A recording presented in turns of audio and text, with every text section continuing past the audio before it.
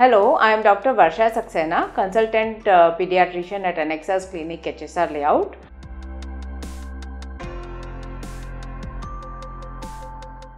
Vitamin D is very important in child's uh, development. It helps in the bone development, uh, calcium metabolism, and immune system regulation.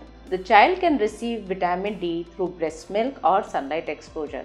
As the sunlight exposure in newborns is restricted, the child is dependent on the mother for vitamin D through breast milk. Most of the mothers are nowadays vitamin D deficient due to our lifestyle changes has decreased the sun exposure.